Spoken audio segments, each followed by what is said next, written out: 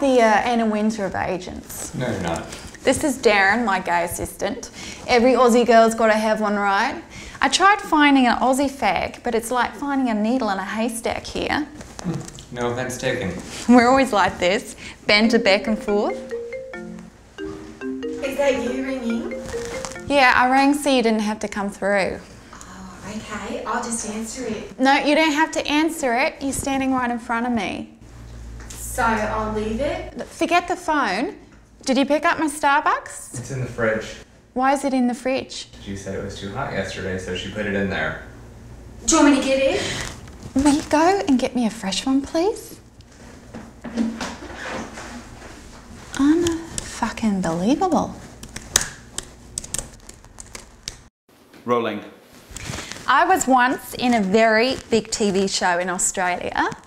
Um, you'll probably know it instantly as soon as I say it. I was in the TV show called Neighbours. Well, there was a lot of big celebrities that were in the show. Um, Kylie Minogue, Holly Valance, Isla Fisher. yeah, Isla. Margot Robbie.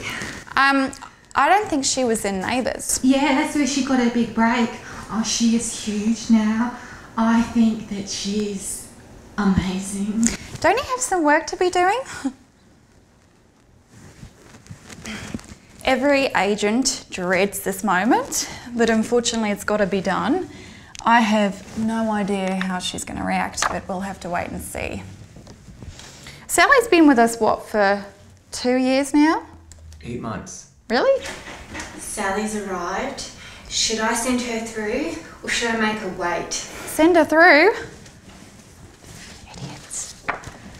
Hi, how are you? You look great. Did you get your hair done? Yeah, last weekend. I love it. Darren, doesn't her hair look fantastic? oh, Ashley, I, I also have new headshots. Oh, great. Yeah. Thanks so much. Here you go. Why don't we take a seat? okay. All right. I hope you haven't come too far. Oh, well, actually, I was in Florida and I flew in last night, but Cindy said it was urgent. Well, she shouldn't have said that. Um, the thing is, Sally, um, I have tried everything, but the problem is no one's interested. What do you mean? How do I put this? Um, okay. You, you're like a piece of cheese with a past sell by date. People stop and they take a look, but they think, nah, I don't want the old cheese. I want the new cheese, the piece that's just been put out on the shelf. Do you understand now?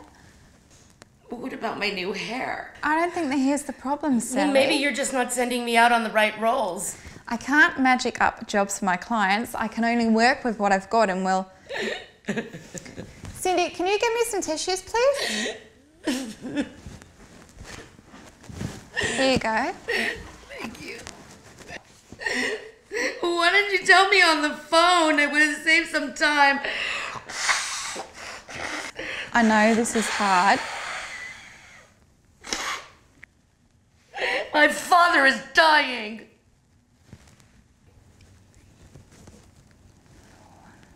Um,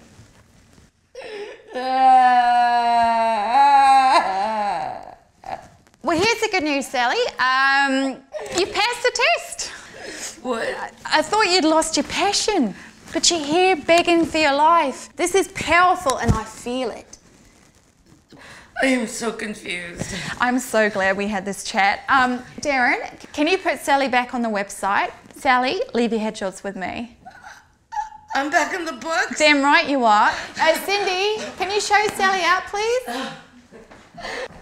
Thank you so much. Did you did you see that? Did you see how much she wanted that? That is the difference between a star and just another actor. All right?